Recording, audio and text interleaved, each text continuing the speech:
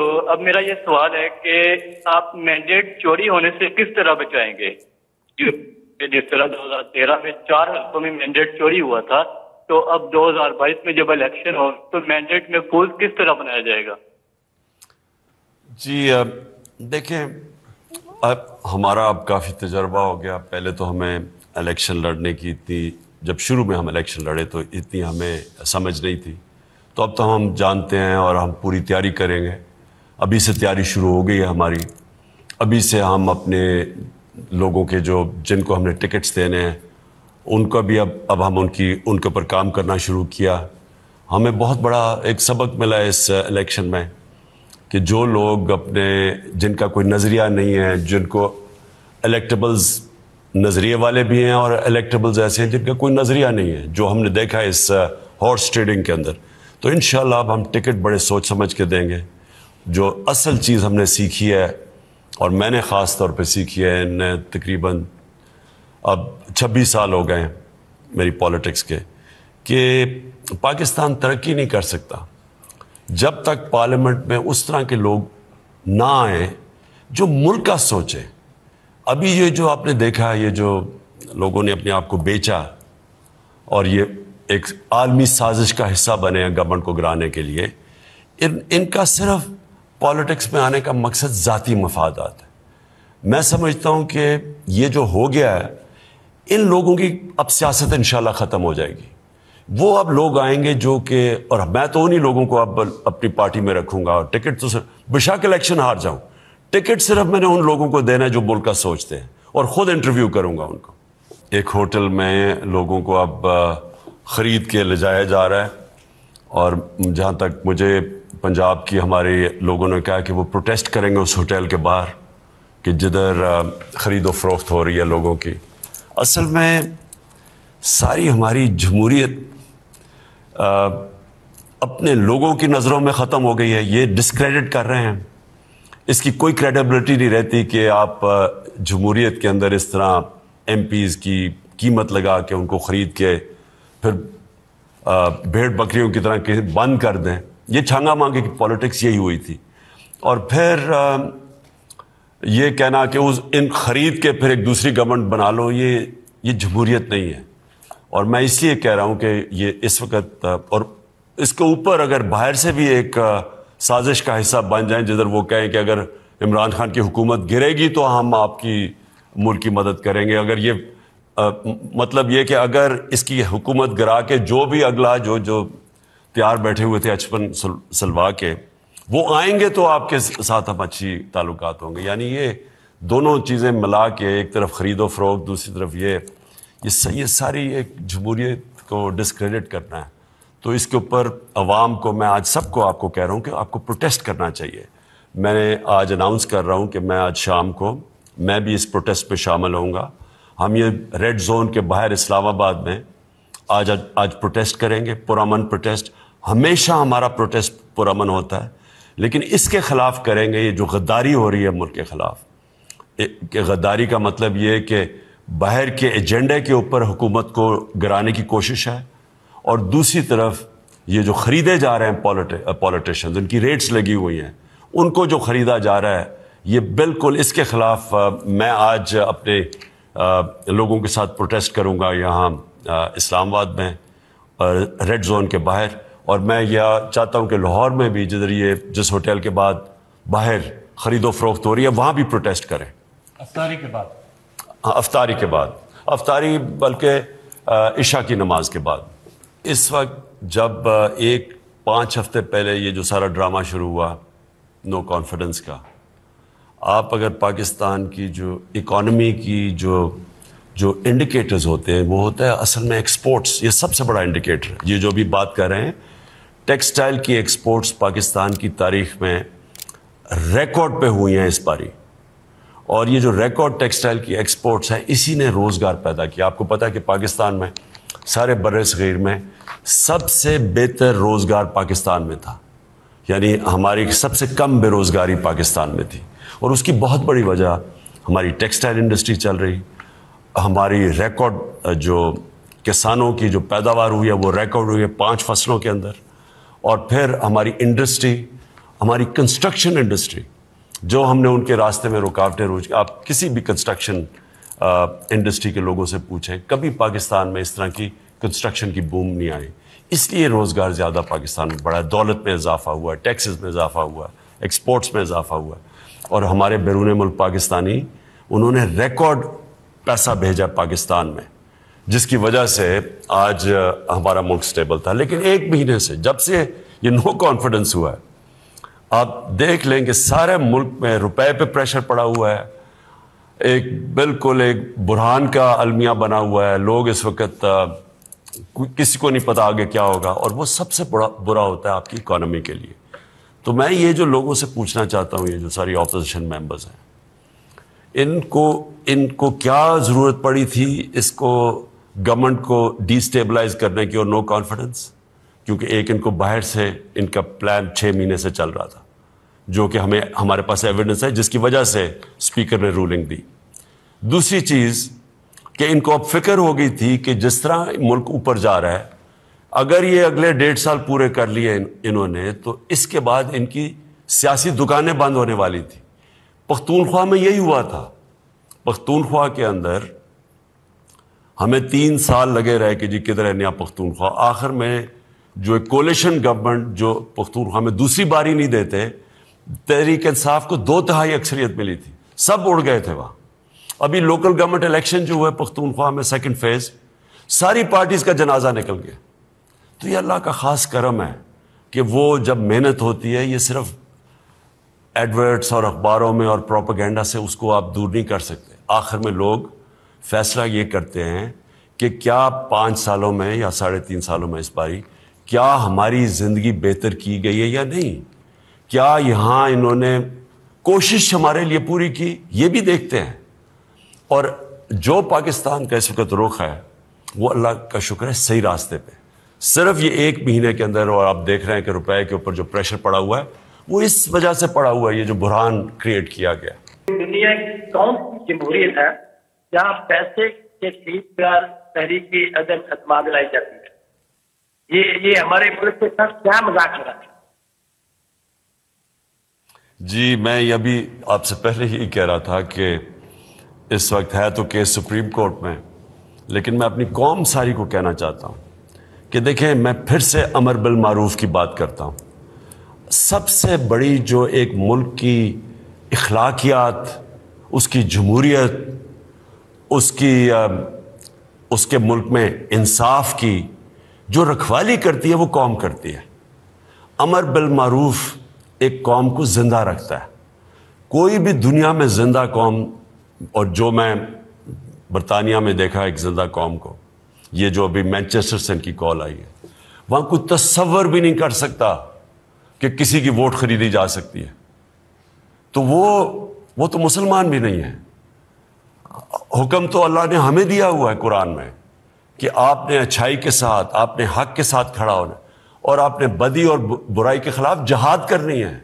ये नहीं कि आपने चुप करके बैठ जाना है। जब कौम एक बुराई देखती है और उसके खिलाफ चुप करके बैठ जाती है, अपना नुकसान करती है। मैं आज प्रोटेस्ट यहाँ भी कर रहा हूँ, आज ये रेड जोन के बाहर अपनी सारी लोगों के साथ मैं भी वहाँ आऊँगा। और मैं सारी कौम को कहता हूँ कि आपने प्रोटेस्ट करना है। ये ये सिर्फ़ यही नहीं हुआ कि जमहूरियत के पैसे दे के लोगों को खरीदा जा रहा है, जो वादा करके आए हैं, ओथ लेके आए हैं कि जी हम मुल्क की जब ओथ लेता है, जब मेंबर पार्लियामेंट बनता है, उस ओथ की भी खिलाफ वर्जी है। अपने आप को बेच भी रहा है, फिर ऊपर से बैरूनी साजिश भी है, जो वाज हो गया जिसकी वजह से स्पीकर ने असेंबली डिजॉल्व की, कि कभी भी इस तरह के बाहर का मुल्क नहीं कहता कि आप अगर ये इस प्राइम मिनिस्टर को हटाएँगे अगर आप इसको हटाएँगे नहीं तो हमारे ताल्लुक ख़राब हो जाएँगे और हटा देंगे तो ठीक हो जाएँगे। तो ये सारा जो है, ये असल में तो नुकसान पाकिस्तानी कौम का अगर इस तरह की इस मुल्क में इसी तरह जमहूरियत आपकी चलती रही तो ये तो कोई भी इस मुल्क को डिस्टेबलाइज कर सकता है। क्या क्या करना है? पंद्रह बीस अरब लेके लोग खरीद के आप गवर्नमेंट करा दें। इसलिए आप सबको प्रोटेस्ट करना चाहिए। सबसे पहले तो मैं सलाम अर्ज़ करना चाहूँगा। और उसके बाद एक ही बात के खान साहब आप हमें कहते रहे कि आपने घबराना नहीं है। अब हम आपको कहते हैं कि खान साहब आपने घबराना नहीं है। इंशाल्लाह पूरा पाकिस्तान आपके साथ है। शुक्रिया शुक्रिया। लेकिन क्या आपको सर- जी। आपको कल कौन सर- एक एक मिनट। आपको कल कौन घबराया हुआ नज़र आ रहा था? कोई नहीं सर हमें यकीन करें इतना खुश हुई आपने डी चौक पे था और इंशाल्लाह आज भी उधर होऊँगा। शुक्रिया जी। सिर्फ़ नाहिल ही नहीं करना चाहिए। इनको जेलों में डालना चाहिए। देखिए मैं आपको एक बात अ, बताऊँ कि मैं क्रिकेट कैप्टन था। ये ये कोई तीस बत्तीस साल की मैं क्रिकेट खेलता था तब। तो मुझे एक पता चला कि हमारे चार खिलाड़ियों को पैसे ऑफ़र किए गए वो फाइनल था शारजा के अंदर फाइनल था ऑस्ट्रेलिया और पाकिस्तान का। तो वहाँ उन्होंने कहा कि हमारे चार प्लेयर्स को उन्होंने खरीद लिया है। और आगे कल मुझे रात को टेलीफोन आया, बल्कि जावेद मियाँ था मेरे जो वाइस कैप्टन थे, उन्होंने मुझे रात को दो बजे जगा के टेलीफोन किया कि कल हमारे चार प्लेयर बिक गए। मैंने सारी टीम को बुलाया मैच से पहले। उसमें से सब, वो याद भी होगा उस टीम को। मैंने सबको खड़ा किया। सारा क्राउड भरा हुआ था मैच शुरू होने से पहले, पिच के बीच में। मैंने कहा, मैं आज सबको एक एक को आपको देख रहा हूँ किसी ने भी सही माने में क्रिकेट ना खेली क्योंकि मुझे पता है जुए की ऑफ़र है। मैंने कहा मैं सिर्फ़ तुम्हें टीम से नहीं निकालूँगा मैं तुम्हें जेलों में डलवाऊँगा। और मुझे या, अभी भी याद है कि वो हम मैच बड़े आराम से जीत गए और बाद में मुझे पता चला कि वाकई ऑफ़र थी। देखिए जब तक लोगों को खौफ ना हो बदी करके गलती करके माशरे को अपना ज़मीर बेच के मुल्क को मुल्क की जमहूरियत को बेच के जब तक उनको खौफ ही नहीं होगा कि हमें कोई फ़र्क ही नहीं पड़ेगा हम पैसे भी पकड़ लेंगे और फिर इलेक्शन लड़ लेंगे। जब तक आप ये नहीं करें नहीं तो आप सजा देते क्यों हैं? सजा जेलों में लोगों को डालते इसलिए है ना कि लोगों को बताने के लिए कि कोई भी जुर्म करेगा तो जेल में जा, जाएगा।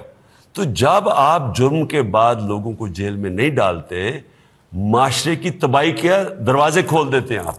जी मेरा सवाल है आज़म इमरान खान साहब को। पहले तो अ, हम जितना अप्रिशिएट करें कम कि जो सेहत कार्ड है अब आप इमेजिन करें वो इलाके जिस बांडी टूडा होगी पीरा दबाटा हो गया और हमारे गाँव के जो इलाके हो गए वो लोग इस्लामाबाद जैसे बड़े शहरों में पंजाब जैसे बड़े शहरों में आके अपने घर बेच देते थे जमीनें बेच देते थे और जमीनें मतलब इतिहास से गिरवी रखवा देते थे। तो पहले तो उन सब माओं की, उन बच्चों की, उन सब लोगों की आपके साथ वजी अजम साहब दुआ है। जितना भी हम अप्रिशिएट करें, बहुत बड़ा स्टेप है। क्रिटिसाइज लेकिन अब इवेंचुअली सारी कौम इस बात पे आपका शुक्र अदा करती है, अल्लाह का शुक्र अदा करती है कि ये हुआ। तो थैंक्स टू यू खान साहब। और दूसरा, आपका जो ये स्टैंड है लिटरली कल हम सब समझ रहे थे कि पता नहीं क्या हो। लिटरली मतलब दो तीन दिनों से वो मीडिया भी बार बार जो है ना लग रहा था कि जिस तरह एक ही पड़ी जा रहा है। लेकिन I want to really appreciate your leadership and I think कि पूरा यकीन है कि हमारा मुल्क, हम नौजवान हम आप इंशाल्लाह ताला सेफ़ हैंड में और इंशाल्लाह उम्मीद है कि टू मेजोरिटी से आप आएँगे और ये जो हमारे ओवरसीज वोट हैं, वो सबसे ज़्यादा इम्पोर्टेंट है। हम चाहते हैं कि वो हमारे टू थर्ड मेजोरिटी तभी आएगी कि जब ओवरसीज को भी एक हक के, हक मिलेगा वोट करने का तो ऑल द बेस्ट खान साहब आई होप के इसके बाद वही खान साहब होंगे जिनसे एक दफ़ा, एक टाइम पे हम सब मिला करते थे इसीलिए। आई होप एंड मेरी उम्मीद है कि वो टाइम दोबारा से जी, डॉक्टर साहब शुक्रिया।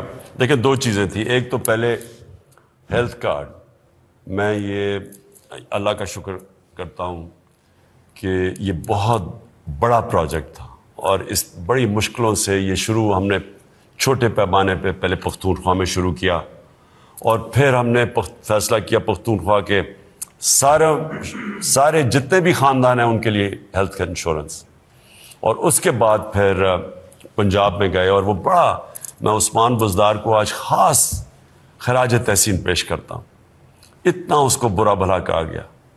जितना इन वक्त साबित करेगा, जो भी सही माने में देखें, क्या पंजाब में सबसे ज़्यादा गुर्बत कम करने की कोशिश इस प्राइम इस चीफ मिनिस्टर ने की।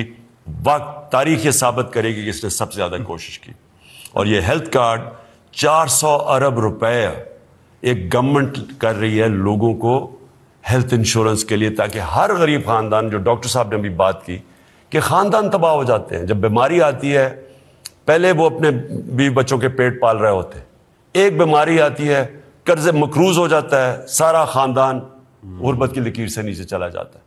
और इसलिए ये जो हेल्थ इंश्योरेंस है, ये सबसे बड़ी नेमत आप अपने अवाम, बल्कि सफ़ेद पोश के लिए भी सबसे बड़ी नेमत दूसरी बात आपने की जी है ये जो अभी लोगों ने ख़रीदो फरोख्त हुई।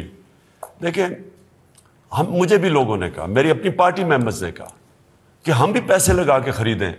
जब वो हमारे लोग ख़रीद रहे हैं, हम उनके लोग भी ख़रीदें। तो वो 20-25 करोड़ रुपया दे के हमारे लोगों को ख़रीद रहे थे। तो हम 30 करोड़ रुपया दे के उनको वापस ख़रीद सकते थे या इनके लोग ख़रीद सकते थे। लेकिन सवाल ये बनता है कि ये पैसा आना किधर से था? ये चोरी का पैसा आना था। या तो मैं, मेरे पास चार गवर्नमेंट थी, उनके पास तो सिंध की गवर्नमेंट थी। बाहर से भी पैसा आया इनके पास। तो इनके पास सिंध की गवर्नमेंट थी। मेरे पास तो चार गवर्नमेंट्स थी। मैं तो उधर से पैसा निकाल के खरीद सकता था लोगों तीस तीस करोड़ रुपया क्या है हुकूमत के लिए? बीस तीस लोगों को देने का। लेकिन फिर मैं क्या मिसाल सेट कर रहा हूँ? मैं वही कर रहा हूँ, फिर ये जो इन्होंने दोनों मेन पार्टीज़ ने जब छांगा मांगा, में हुआ था तो क्या हुआ था? इन्होंने खरीद के छांगा मांगे में रख लिया, उन्होंने खरीद के मरी या कहीं और घुसा दिया। यानी ये मुल्क से तमाशा, मेरा तो जमीर ही नहीं मानता था ये करने के लिए। सर हाँ मियाँवाली में दस साल में मैं यहाँ दस साल से रहती हूँ, कभी इतनी रोड्स नहीं बनी थी, कभी इतनी तरक्की नहीं हुई थी जितनी मैंने अब इन दस इन उस्मान बुजदार के देखा टाइम में कि जितनी यहाँ पे डेवलपमेंट हुई है। और सर, मेरा सबसे बड़ा सवाल ये है कि जो भी आपके प्रोजेक्ट चल रहे हैं, क्या वो यहीं पे स्टॉप हो जाएँगे? जैसे रोड बन रही हैं और सब कुछ कंस्ट्रक्शन हो रही है, क्या वो आपके जाने से यहीं पे वो मनसूबे ये खत्म हो जाएँगे या आप लोगों ने कुछ ऐसा करके जाएँगे कि ये मनसूबे चलते रहे? और दूसरा सर, मेरे आपसे रिक्वेस्ट है कि इंशाल्लाह इनशाला जब आप भारी अक्सरियत से दोबारा आएँगे तो जो हम पढ़ी लिखी बाशूर खातन है इस मुल्क की, उनके लिए स्पेशली जो एजुकेटेड है, जो डॉक्टर है इंजीनियर है, लेकिन घर में है उनके लिए भी आप कुछ ऐसे मंसूबे लाइएगा कि वो भी वापस अपने आप कौम की खिदमत कर सके, आपके साथ शाना बशाना खड़ी होके। जी बहुत शुक्रिया। पहली चीज़ तो मैं फिर से ये कहता हूँ कि जब ये पंजाब की सही माने में एनालिसिस होगी और वो एक होता है की performance indicators K P Is जिसे कहते हैं। अगर ये आज स्टडी कोई कर ले कि सिंध के क्या हालात हैं और साढ़े तीन साल में पंजाब में क्या हुआ और पख्तूनख्वा में मैं आपको गारंटी करता हूँ कि पंजाब में जिस तरह का उन्होंने निचले लेवल पे डेवलपमेंट किया है और जो गरीबों के लिए किया है, जो अभी किसान कार्ड लेके आ रहे हैं, किसानों के लिए, मैं नहीं समझता कि पंजाब की तारीख में इतना हुआ है। और पख्तूनख्वा के अंदर तो माशाल्लाह उन्होंने सबसे पहले ही शुरू किया था सेहत कार्ड यानी हेल्थ इंश्योरेंस क्या होगा? इन आपने पख्तूनख्वा की जो भी लोकल गवर्नमेंट इलेक्शन है उस पर रिज़ल्ट देख ही लिया कि इस तरह की भारी अक्सरियत से जिस तरह उन इलाकों में तहरीक इंसाफ जीती है, जिधर तहरीक इंसाफ नहीं हज़ारा में तो नून लीग का बड़ा ज़ोर था।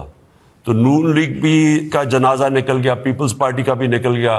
तो तहरीक इंसाफ ने जिस तरह जीता है इन ये मेरा ईमान है कि जो लोग हमारे साथ नहीं भी आना था, उन्होंने जब इन तीन लोगों की शक्लें देखी हैं, जो तीस तीस साल से हम तो सवा, साढ़े तीन साल से आए हैं ना पावर में।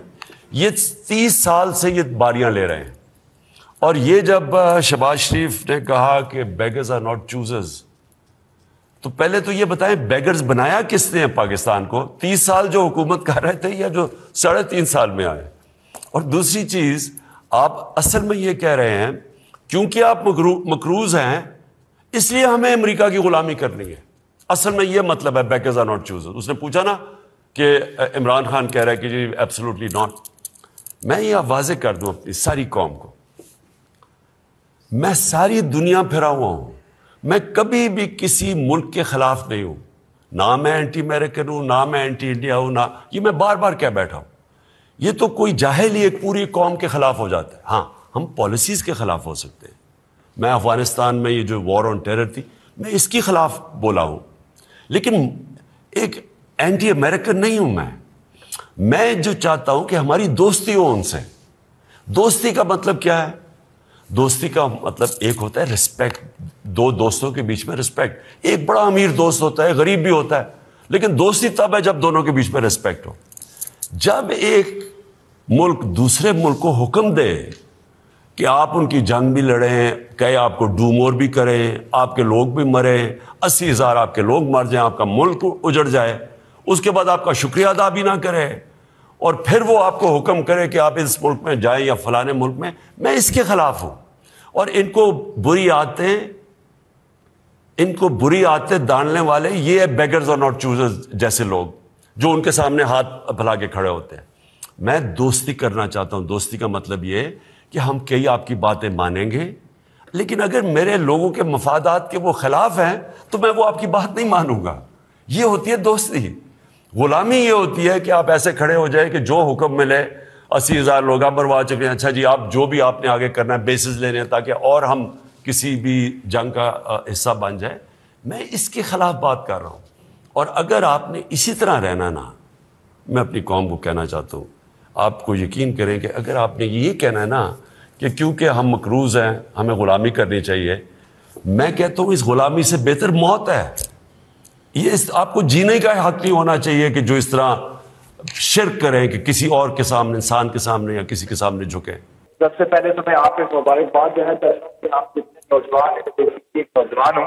हम नौजवान एक आइडेंटाइज करते थे कि काश हम कायदे आज़म के जमाने में होते तो हम एक एक लीडर के साथ वो कैसे तहरीके पर कैसे गैरत का सबक उनने अपने वर्कर्स को दिया। तो आज हम अपने आप को बड़ा खुशकिस्मत समझते हैं दीन नौजवान कि हमें एक ऐसे लीडर के साथ, एक ऐसे टाइम में हम ज़िंदा हैं कि जिस टाइम में हमने ये देखा कि अगियार की आँखों में आँखें डालकर उस दारी का दर्द देने वाला लीडर हमें मिला। और उसने हमें गैरत दी वो कहते हैं ना, गैरत है बड़ी जहाने सकोदों में पहनाती है दरवेश को साजे सरदारा आज हम तमाम नौजवानों का सर सर फखर से बुलंद है कि हमारा एक ऐसा वज़ीर आज़म है जो पाकिस्तान को मदीने की रियासत बनाने की बात करता है। इस्लामिक फोबिया के झंडे गाड़ता हुआ नज़र आता है। और अगियार की आँखों में आँखें डालकर अपने नौजवान नस्ल को बताता है। हम लोग साहब हम लोग सोचते थे कि हम किस सोसाइटी में ज़िंदा है कि हमारा वज़ीर अजम अमेरिका जाता है तो उसकी पतलून उतार दी जाती है। आज हमारा सर पकड़ हमें रोटी ना मिले हमें पुल ना मिले हमें सड़कें ना मिले कोई मसला सवाल लेकिन हम बताइएगा आज इज़्ज़त सरदार साहब। नहीं हो रही। आज हमारी गैरत गैरत ज़िंदा है और हम हमारी पूरी कौम आपको स्टैंड करती है इस मामले के अंदर कि जो आपका गैरत शुक्रिया। चलिए शुक्रिया जी। मैं एक जी। इसका मैं आपको जवाब देखें। मैं मैं तो एक ही लीडर को माना है वो हमारे नबी सल्लल्लाहु अलैहि वसल्लम है। उन्होंने हमें क्या बताया था? मदीना के दोनों तरफ़ सुपर पावर्स थी। दुनिया बटी हुई थी दो सुपर पावर्स में रोमन एम्पायर और पर्शियन एम्पायर। उन्होंने मैं लोगों अपने नौजवानों को बताता हूँ क्योंकि हमने तो उनसे सीखना है ना। हमें तो कुरान में हुक्म है कि उनकी सुनत पे चलो। उन्होंने दोनों सुपर पावर्स के सरबराह को ख़त लिखा जब थोड़े से मुसलमान थे कि मैं अल्लाह का सच का पैगाम लेके आया हूँ। और आप अगर ये इस पर चलेंगे तो आपकी बेहतरी है। तो हम तो उसके उमती हैं। मैं तो ये मानता ही नहीं कि आप किसी के सामने जो मर्ज़ी आपके हालात हो। ये तो 22 करोड़ लोगों को, उसके सरबरा को किसी के सामने पर्ची पकड़ के खड़ा होना कि जी मैं कोई प्रेसिडेंट के साथ बैठा हुआ पर्ची से गिरा, मेरे को गलती ना हो जाए। वो 22 करोड़ लोगों की जिल्लत है और ये मुसलमानों की जिल्लत है, जिसका कलमा ला ला है कि अल्लाह तेरे सिवा किसी के सामने नहीं झुकते। और इस मुल्क का जो जो मेरा लीडर जिसको मैं मानता हूँ, कायद आज़म थे। आप कायद आज़म की सारी किताबें पढ़ लें जो उनके ऊपर लिखी हुई हैं। जो भी उनका दुश्मन था उनकी इज़्ज़त करता था। गुलाम हिंदुस्तान में अंग्रेज़ उनको इज़्ज़त से देखता था क्योंकि खुददार थे। देखें मैं एक अपना मेरा घर बन रहा था तो बड़ी देर बीस साल की बात है। तो बड़ी गर्मी थी दोपहर को। जुलाई का महीना था और एक मजदूर मजदूर बाकी भी काम कर रहे थे। एक मजदूर मैं देखा दूर से। तो वो आ, उसकी कमीज पसीना पसीना हुई थी। बाकी रेस्ट करते थे, पानी पीते थे। वो मुसलसल काम करता गया। मैंने जब काम ख़त्म हुआ, उसके बाद मैंने उसके पास आया। मैंने कहा, देखो, उसको मैंने कोई पैसे दिए। मैंने कहा, मैं बड़ा आज मुतासर हुआ हूँ कि तुम्हारी, जिस तरह तुमने काम किया। उसने मेरे पैसे पकड़ के उसने वापस कर दिया। कहता है, जिसके लिए मैं मजदूरी कर रहा हूँ, उसके पैसे मुझे मिलते हैं। इसके, ये इसके लिए मैंने काम नहीं किया। अब हुआ क्या? उस आदमी था मजदूर। मेरे दिल में उसकी इज़्ज़त किधर से किधर चली गई? क्योंकि जो एक इंसान में गैरत होती है ना दुनिया उसकी इज़्ज़त करती है। ये नहीं थी कि वो मजदूर था। वो अपनी उस अपनी इज़्ज़त उसकी प्यारी थी कि मैं क्यों किसी से पैसे लूँ? जापान के अंदर आप आप वे, वेटर्स को टिप नहीं दे सकते। खुददार कौम है। और दुनिया में लेते हैं टिप। जापान में नहीं ले वो टिप लेते वो कहते, जी, हमने तो जिसके लिए हम, हमें पैसे मिल रहे हैं। मैं कहने का मेरा मकसद ये है कि हम ही अपने आप को जलील कर रहे हैं। बेगर्स आर नॉट चूजर्स क्योंकि हम मकरूज हैं, हमें गुलामी करनी पड़ेगी। ये एक, जो अचकन सलवा के बैठा हुआ है, वो जब ऐसी बात करता है, मुझे बताओ कि कौम कौम किधर रह जाती है? जब हमारा वो जो पहले तीन दफ़ा वज़ीर आज़म, वो जाके जब प्रेसिडेंट ओबामा के सामने पर्चियाँ लेके बैठ के बात करता है तो सोचेगी कि कौम क्या समझती है? कि वो अपनी, उसकी सेल्फ स्टीम किधर जाती है? उसकी इज़्ज़त नफ्स किधर जाती है? तो देखें, हम उस लीडर के साथ हैं। हम नबी सल्लल्लाहु अलैहि वसल्लम के। जिन्होंने हमें दुनिया की तारीख में कभी इस तरह का कोई लीडर नहीं आया। और मैं इसलिए अपनी कौम को, नौजवानों को सीरत नबी पर पढ़ाना चाहता हूँ। ये रहमतुल्लामीन अथॉरिटी में सीरत नबी इसलिए कि उनसे बड़ा लीडर ही कोई नहीं आया था। जो उनके इर्द गिर्द थे, वो लीडर बन गए थे।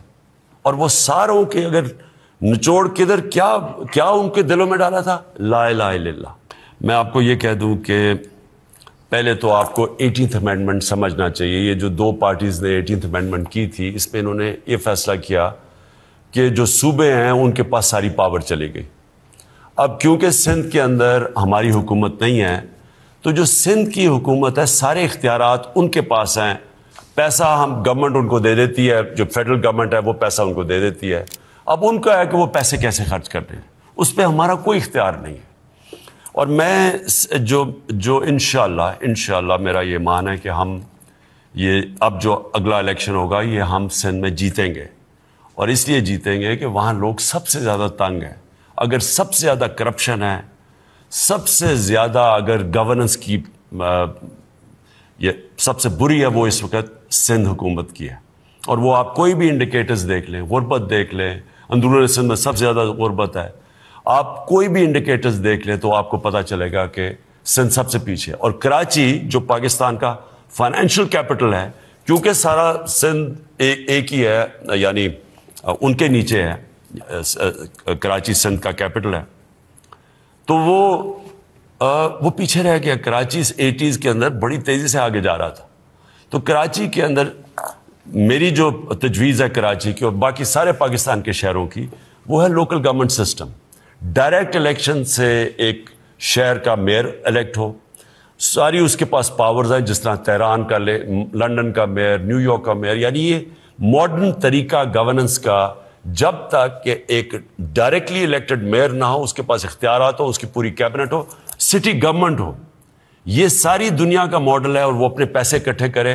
वो जब तक वो मॉडल नहीं आएगा, मैं, मुझे अफसोस से कहना पड़ता है कि हमारे सिर्फ़ कराची छोड़ें, हमारे बड़े जो शहर हैं, ये सब इनके हालात बिगड़ते रहेंगे। अगर आप एक एक सूबे के डेवलपमेंट फंड से अगर आप शहरों को डेवलप करेंगे, वो नहीं होंगे। शहरों को अपने फंड्स खुद कलेक्ट करने होंगे, जो कि दुनिया का सिस्टम है इस वक्त। जी जी, बिल्कुल ठीक कह रहे हैं। मैंने कहा कि हमने बड़ा सीखा है। ये जो साढ़े तीन साल, बड़े मुश्किल साढ़े तीन साल गुजरे हैं, क्योंकि सारा वक्त ऐसे लोग थे जो ब्लैकमेल करते रहते थे हमें, जिनका कोई पाकिस्तान के साथ हमदर्दी नहीं थी, सिर्फ़ अपनी ज़ात के लिए, फ़ायदे उठाने के लिए। तो इस बारी तो मैंने फैसला किया है कि हमने सिर्फ़ टिकट उन लोगों को देने हैं जो हम समझते हैं कि उनका कोई पाकिस्तान की विजन है और ज़ात से बाहर निकले हुए हैं। और अगर हम हार भी जाएँ तो कोई फ़र्क नहीं पड़ता। लेकिन जीतना, इस इस तरह के लोगों के साथ जीतना जो अपने ज़मीर बेच सकते हैं, इससे बेहतर है कि हार जाए हम।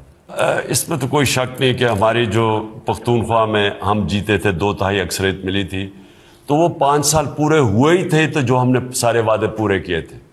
और जो जो अभी भी हमारे प्रोजेक्ट्स हैं, वो सारे जो बड़े बड़े प्रोजेक्ट्स हैं, मसलन जो रावी सिटी है लाहौर की और जो सेंट्रल बिज़नेस डिस्ट्रिक्ट है लाहौर के अंदर ये बहुत बड़े प्रोजेक्ट्स हैं। नाला लई डिस्ट्रिक्ट है यहाँ लाहौर का। फिर हमारी डैम्स बन रही हैं। तो ये बड़े प्रोजेक्ट्स थे, थे इनको थोड़ा टाइम लगता है। जो हमारे जो जो इन्वायरमेंटल यानी जो क्लाइमेट चेंज वाले हम जो दस अरब दरख्त उगा रहे हैं तो वो तो पूरे नहीं होंगे। लेकिन मुझे अब पूरा यकीन है कि इन जो अब तक भी हम कर चुके हैं मैं नहीं समझता किसी पाकिस्तान की हुकूमत की ये परफॉर्मेंस रही है और ये इन हम इलेक्शन में लेके जाएँगे। और इंशाल्लाह तीन महीने बाद आप वापस आके इन्हीं को कंटिन्यू करेंगे। इन जो अल्लाह को मंजूर है जिस तरह मैंने कहा इंसान कोशिश करता है कामयाबी अल्लाह देता जी जी मेरा सवाल इमरान खान से ये है कि हम हमें जो ओवरसीज पाकिस्तानी को जो वोट का हक दिया है राइट वोट का हक दिया है तो मैं खान साहब से ये रिक्वेस्ट करना चाहता हूँ कि हमें इसके मतलब वो ताबदार करे और हमसे दोबारा ये चीज़ छीना ना जाए, वापस ना किया जाए। ये बिल्कुल, अली, आप ठीक कह रहे हैं। ये जो हुकूमत ये जो इलेक्शंस में नहीं जाना चाहते और चाहते हैं किसी तरह ये उन्होंने जो लोग खरीदे हुए हैं हॉर्स ट्रेडिंग करके, उनके कंधों पे चढ़ के आके फिर से हुकूमत करें। ये जो पीडीएम चाहती है, उसमें मैं फिर से रिपीट करता हूँ, ये सबसे पहले अपने करप्शन के केसेस ख़त्म करवाएँगे। उसके बाद इन्होंने अपने लोगों को उन जगहों पे रखना है, जिधर इन्होंने इलेक्शन को मुतासर करना है, इन्होंने विक्टमाइजेशन करनी है, जो इन्होंने हमेशा की है।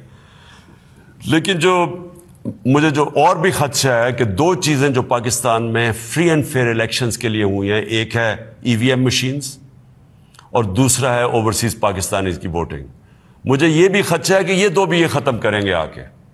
क्योंकि इनको डर ये लगा हुआ है कि ईवीएम मशीन्स अब ईवीएम मशीन क्या है? कैलकुलेटर है। जो जुडिशल कमीशन बनी थी 2015 में आप उसकी अगर रिपोर्ट पढ़ लें तीन या चार हफ़्ते वो केस चला था आ, सुप्रीम कोर्ट में आ, जो कमीशन ने चलाया था तब के चीफ जस्टिस ने।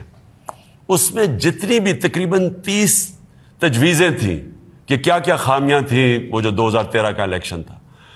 तकरीबन उन सबको दूर करने के लिए हल ईवीएम मशीन का था। यानी जो जो गलतियाँ हुई थी अगर आपने वो दुरानी नहीं है तो वो ईवीएम मशीन है। मसन ये फॉर्म 14, 15 ये सब उड़ जाती है अगर आपके पास ईवीएम मशीन आ जाए। फिर ये जो डबल स्टैंप लगा के रिजेक्टेड वोट्स है। केपी के अंदर पेशावर के जो इलेक्शन था तरीके इंसाफ रनर अप हुई ग्यारह हज़ार वोट कम थे। तो तेईस हज़ार वोट रिजेक्ट कर दी उन्होंने। वो रिजेक्ट, वो वोट ही खत्म, यानी तेईस हज़ार वोट इसी तरह कितने हलकों में रिज़ल्ट चेंज हो जाता है रिजेक्टेड वोट से। आपकी जब ईवीएम मशीन आएगी, वो रिजेक्टेड वोट ही खत्म हो जाएगी। तो ये तरीके हैं धांधली के। इसलिए ये ईवीएम मशीन्स को नहीं आना चाहते। दुनिया में है, हिंदुस्तान में ईवीएम मशीन्स पे इलेक्शन होता है। तो यहाँ क्यों रुका हुआ है? और और और क्यों इन्होंने ऑब्जेक्ट किया उसके ऊपर, जो हमने अब कानून पास किया? और दूसरा ओवरसीज पाकिस्तानी इनको सबसे बड़ा खदशा ये है कि ओवरसीज पाकिस्तानी तकरीबन ज़्यादातर नबे फ़ीसद तहरीक इंसाफ के साथ है। तो इसके लिए भी ये पूरी कोशिश कर रहे हैं कि ओवरसीज पाकिस्तानी की किसी तरह वोट ना डाली जाए। तो मैं फिर से कहता हूँ कि इन्होंने कभी न्यूट्रल अम्बार्ड के साथ मैच नहीं खेला। ये हमेशा चाहते हैं कि पावर में आके सारी अपनी मैच फिक्स करके तो फिर गेम खेली जाए। इन मुझे पूरी उम्मीद है कि मेरी कौम इस बारी इनको शिकस्त देगी। मैं चाहता हूँ आज भी कि सारी कौम प्रोटेस्ट करे और मैं हमेशा कहता हूँ पुरमन प्रोटेस्ट। कभी हमें अपने मुल्क को नुकसान नहीं पहुंचाना चाहिए तो सादम से। पुरमन प्रोटेस्ट करें, एक की गद्दारी कि बाहर की कुवत के साथ मिलके इन्होंने ये मैच फिक्स किया। और ये वाज है जो जो हमारे पास ये जो हमने अपनी कैबिनेट में लेटर दिखाया, हमने पार्लियामेंट्री कमेटी के अंदर वो वो जो उसके जो मिनट्स दिखाए कैबिनेट के, जिन्होंने लेटर के ऊपर अपने कमेंट्स पास किए, साफ़, उसके अंदर साबित हो जाता है और जिसकी वजह से स्पीकर ने इनकी रद्द कर दी अदम अतमाद की जो इनकी पटिशन थी। क्योंकि उसमें वाज था कि ये बाहर की कुत ने प्रेशराइज किया पाकिस्तान के इंटरनल अफेयर्स में और ये अदम अतमाद उसका हिस्सा है। तो मैं ये चाहता हूँ कि इस गद्दारी के खिलाफ ये ज़रूरी है ये लाजम है कि आप प्रोटेस्ट करें। मैं आज इन इशा की नमाज़ के बाद मैं भी या आ, ये रेड जोन से बाहर हमारा पूरा प्रोटेस्ट होगा आज। मैं चाहता हूँ हर जगह आप करें और इसलिए करें कि आपको लोगों को खौफ हो कि एक तो गदारी का किसी की बाहर का आप हिस्सा ना बने और दूसरा खौफ हो कि कोई भी मेंबर पार्लियामेंट आगे से अपनी वोट ना बेच सके। अपना ज़मीर ना बेच सके, अपने मुल्क की जमहूरियत ना बेच सके। ये जब तक अवाम का प्रेशर नहीं पड़ेगा, ये चीज़ें होती रहेंगी। ये हमने तमाशा देखा था, आज से तीस साल पहले छांगा मांगा का ये ड्रामा हुआ था, तीस पैंतीस साल पहले। और फिर मरी के अंदर, और फिर ये जो जिस तरह का ये होता है, इसको ख़त्म सिर्फ़ अवाम कर सकती है। अब बरतानिया के अंदर क्यों नहीं हो सकता? क्योंकि बरतानिया की अवाम का इतना प्रेशर है किसी की ज़रूरत नहीं है कि, एक पैसा देने की भी ऑफ़र करे या लेने की ऑफ़र करे क्योंकि उनको पता है कि अवाम उनको नहीं बख्शेगी। तो सबसे बड़ा तो प्रेशर आपका है। और अवाम को ज़रूरी नहीं कि कोई पॉलिटिकल पार्टी निकाले। आपको खुद इसकी प्रोटेस्ट करनी चाहिए।